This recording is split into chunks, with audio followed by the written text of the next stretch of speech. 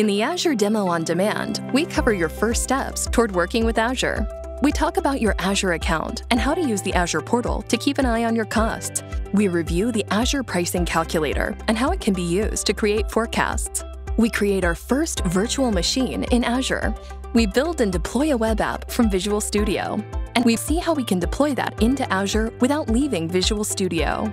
And lastly, we build an Azure SQL database server and database. Let's start with billing and usage. You can find the cost management and billing section through the navigator on the left, or you can see it in your recent services at the top. This will take you to your billing information. From here, you'll see basic account information and a list of your subscriptions.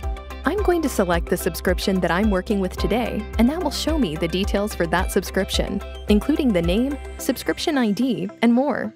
If you're in a free account, you have 30 days and $200 in credits, whichever you hit first, to try Azure. Azure Pricing Calculator.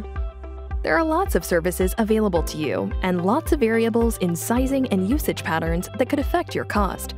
Here on Azure.com, you will find pricing details for the various services, as well as the pricing calculator.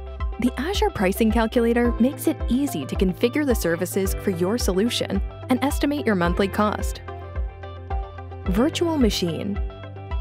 If I press the GNN keyboard combination or click the Create a Resource button in the upper left corner of the portal, I can start creating resources in Azure. There are a lot of services that I can choose from in Azure, but at this point, I want to create a virtual machine in the cloud. I can either search for the virtual machine image I want or browse through what is available. I'm going to search for Windows Server at the top, which is going to search the marketplace and I'll select the Windows Server Marketplace item and start the process. ASP.NET Web App in Azure App Service Now.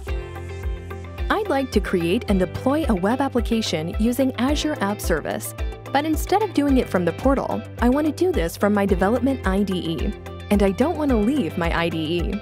I'll switch to Visual Studio and create a new web application and an ASP.NET Core Web application. SQL Database there are two ways you can run SQL in Azure. You can either install SQL Server on a virtual machine and get full control over the configuration of the server and database, or you could use the Azure SQL Database Service.